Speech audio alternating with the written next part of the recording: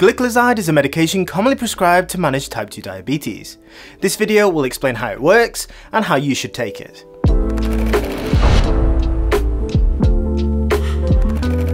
As you may already know, type 2 diabetes is a condition where your body doesn't produce enough insulin or has reduced insulin sensitivity, resulting in the high blood sugars we see in diabetic patients. Gliclazide is a medication prescribed to manage type 2 diabetes. It belongs to a group of drugs called sulfonylureas. These medications increase the production of insulin by your pancreas, which in turn lowers your blood sugar. Gliclazide is only available on prescription from your doctor, and you shouldn't be purchasing it or using this medication without medical advice. What is the correct dose of gliclazide? Gliclazide is available in both standard and slow release preparations. Your dosing will be dependent on your individual needs and should be directed by your doctor or diabetic specialist nurse. Your diabetic control should be regularly monitored and your dose of gliclazide adjusted accordingly. Standard release preparations work quicker but don't last as long, meaning you may have to take them multiple times during the day. The typical dose of standard release gliclazide starts at 40mg, taken once daily. This may be increased to 320mg daily depending on your needs. Doses greater than 160mg are usually given in two equally divided doses. Slow release variants take longer to work, but their effects last much longer. This means you will only need to take slow release variants once a day. The typical starting dose is 30mg daily, increasing up to a maximum of 120mg daily. How to take gliclazide. Gliclazide should be taken with a large glass of water and with a meal. For individuals taking gliclazide twice a day, take your medications with breakfast and evening meals. If your prescription is for once daily dosing, take your gliclazide in the morning with your breakfast. Are there any foods I should avoid? For diabetic patients, avoiding foods and drinks containing high amounts of sugar is a good idea.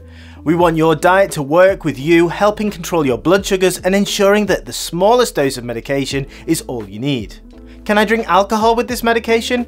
It is safe to consume alcohol in moderation whilst taking gliclazide, providing your diabetes and blood sugars are well controlled. Alcohol use in people with diabetes immediately affects blood sugars, causing them to either rise or fall.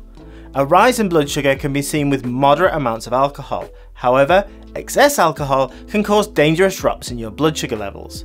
Over time, consuming too much alcohol can decrease insulin effectiveness, leading to high blood sugar levels. I've missed my dose, what should I do? If you forget to take your gliclazide, skip the missed dose.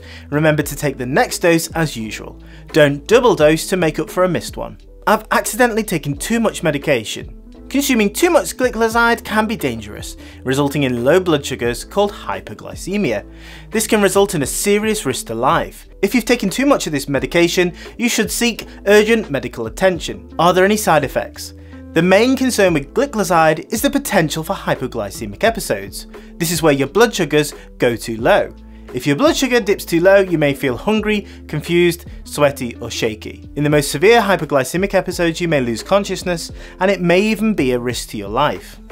Because of the risk of hypos, you will be likely asked to monitor your blood glucose levels at regular intervals whilst taking this medication you can limit the risk of hypoglycemic episodes by ensuring that you eat three meals a day and avoid skipping those meals.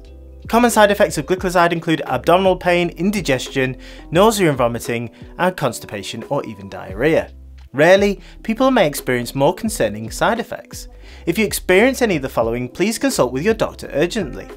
The yellowing of the eyes or skin, darkening of your urine, or lightening of your poo may indicate a liver injury. The development of a fever, sore throat, bleeding gums and unusual bruising may indicate the development of a rare blood disorder called agranulocytosis. Allergic reactions are concerning as they may be life-threatening. Fortunately, life-threatening allergic reactions are rare.